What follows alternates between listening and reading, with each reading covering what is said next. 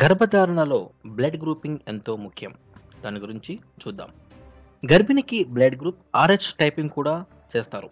ఒకవేళ తల్లి Rh negative అయితే పుట్టబోయే బిడ్డ గురించి ముందు నుంచి జాగ్రత్త పడవలసి ఉంటుంది. ఎందుకంటే తల్లి ఆర్హెచ్ నెగిటివ్ తండ్రి ఆర్హెచ్ పాజిటివ్ అయి బిడ్డకు పాజిటివ్ వస్తే బిడ్డ పుట్టగానే తీవ్రంగా పచ్చకామెర్లు రావచ్చు. వెంటనే బిడ్డ రక్తాన్ని ఎక్స్చేంజ్ ట్రాన్స్ఫ్యూజన్ ద్వారా మార్చివేయవలసి ఉంటుంది. బిడ్డకు ఇటువంటి ప్రమాదం తల్లి ఆర్హెచ్ నెగిటివ్ అయ్యి తండ్రి ఆర్హెచ్ పాజిటివ్ అయినప్పుడే వస్తుంది.